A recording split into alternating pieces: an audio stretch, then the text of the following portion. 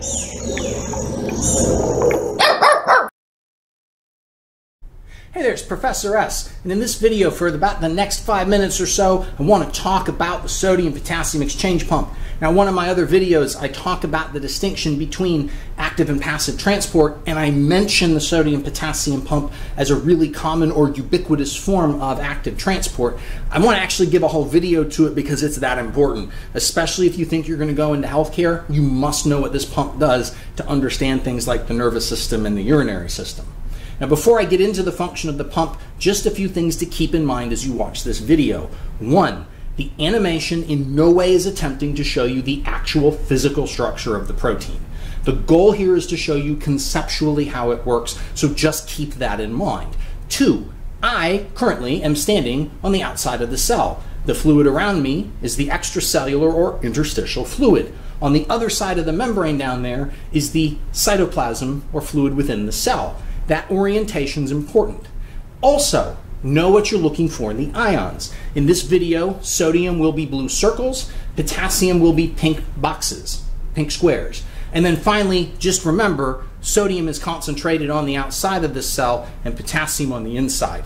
That's also important to understanding the process. So with that said, let's jump on into this.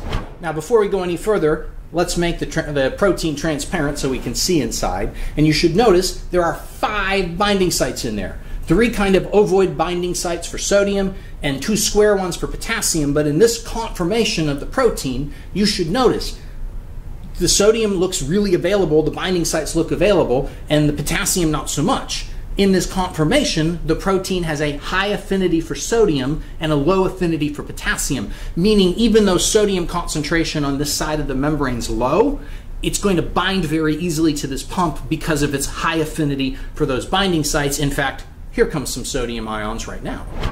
As those sodium ions bind to their binding sites, notice we get our induced fit as the protein binds back. But not just that, it induces a conformational change in the protein. And if you look down below, you're going to see what I'm talking about.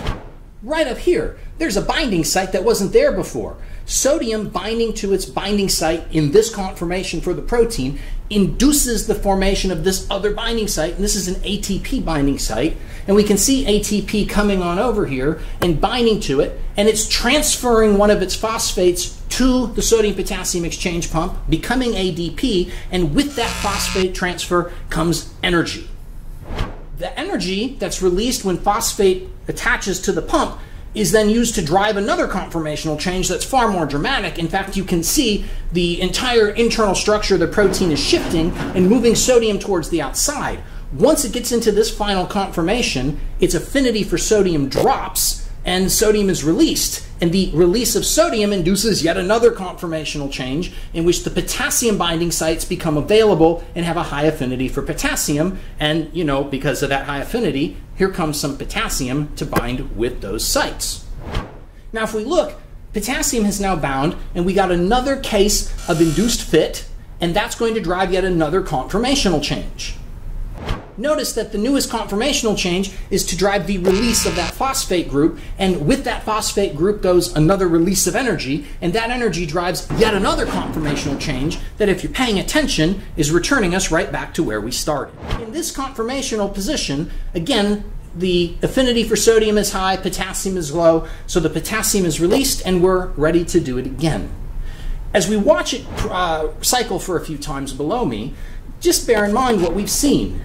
What this pump does is it moves three sodium ions out of the cell, two potassium ions into the cell per ATP spent, per ATP converted to ADP by releasing its energy through its phosphate group.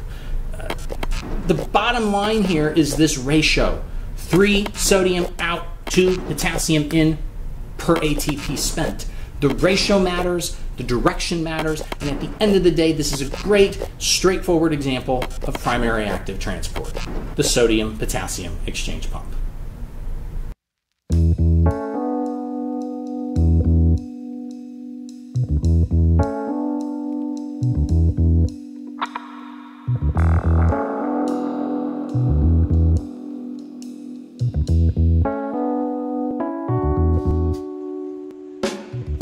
What the hell are you doing? Um, Are you smoldering? No, I'm, I'm trying to get the glare out of my, my glasses. It looked like you were smoldering. No. Gla- Do the take. Hey, this is Professor S, and if you found that video helpful, here's a couple others that you also might find useful. And don't forget to click the button to subscribe so you can see all the new videos as I put them out. Get, get off camera now.